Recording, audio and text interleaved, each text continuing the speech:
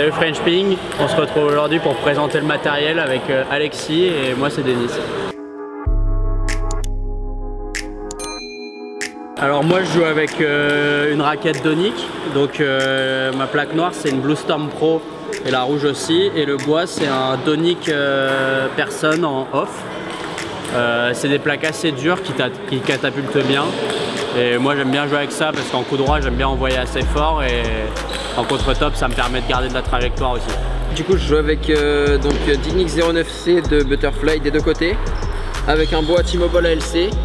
Donc euh, j'ai changé ça euh, l'année dernière en coup droit et cette année en revers parce que bah, ça me permettait d'avoir pas mal d'accroches et, un bon impact de balle.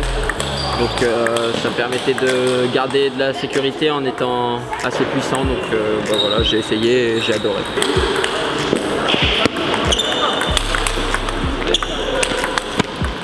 J'ai un style de jeu où il n'y a pas beaucoup d'échanges et je prends beaucoup le coup droit. Euh, c'est pour ça que j'aime bien avoir des plaques euh, très dures parce que pour le coup droit, pour envoyer fort, c'est important. Euh, moi du coup, je m'appuie pas mal sur mon service, donc ces plaques elles me permettent de bien, bien accrocher la balle et de bien varier du coup les effets. Et après, même si je suis un joueur euh, pas mal aussi en, en contre initiative, j'aime bien repasser par-dessus. Du coup, euh, même avec deux plaques dures, ça me permet de remettre à chaque fois de la courbe, même en compte. Donc c'est assez, bien pour moi.